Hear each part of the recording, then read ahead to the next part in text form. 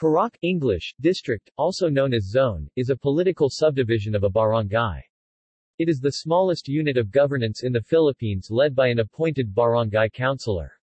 It is not, however, officially considered a local government unit. The barangay is the smallest political unit officially. A purok is typically composed of 20 to 50 or more households, depending on the particular geographical location and cluster of houses. If created and given a mandate by an ordinance of the barangay, municipality, or city, a purok could perform government functions under the coordination and supervision of their local officials. See also Sitio Poblacion Barangay